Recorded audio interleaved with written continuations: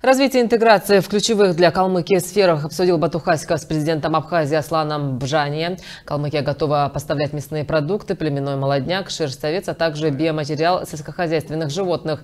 Также стороны обсудили совместную реализацию проектов в сфере туризма и культуры, образования и науки, взаимодействия в проведении деловых и событийных мероприятий. Калмыкию и Абхазию многое объединяет. Наши деды и прадеды плечом к плечу отстояли свободу Родины и жизнь для потомков. Мы наследники поколения победителей и укрепляем наше взаимодействие ради общей цели, прокомментировал Хасиков.